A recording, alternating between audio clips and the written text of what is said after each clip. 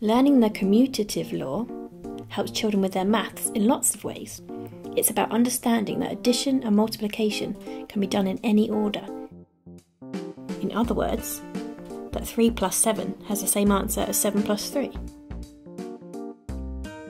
And 3 times 7 has the same answer as 7 times 3. It's an early introduction to the mathematical idea of proof. Ask children to imagine putting a quantity into a bag, followed by another quantity.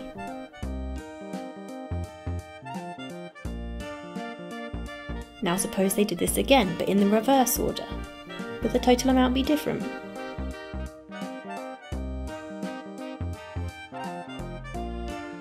Arrays are another good way of showing how multiplication is commutative.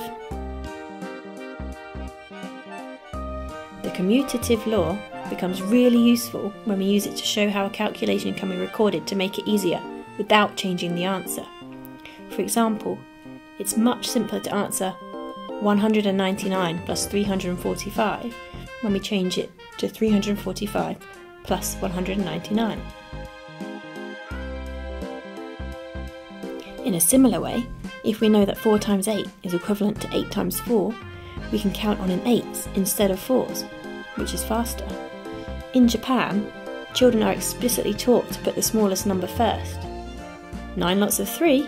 Don't do that, do 3 lots of 9.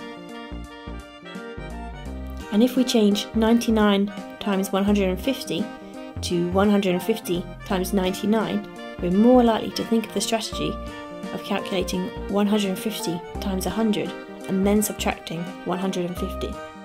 One last thing if we want children to use these approaches, it's important we don't teach them to always do the calculation they're given. They need to think flexibly.